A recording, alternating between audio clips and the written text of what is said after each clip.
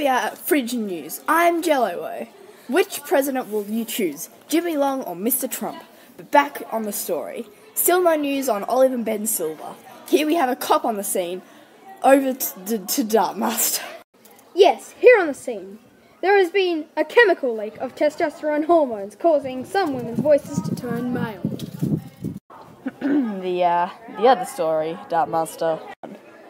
All right. If you know where the whereabouts of these kiddos, remember, bring them to custody and keep them away from Michael Jackson.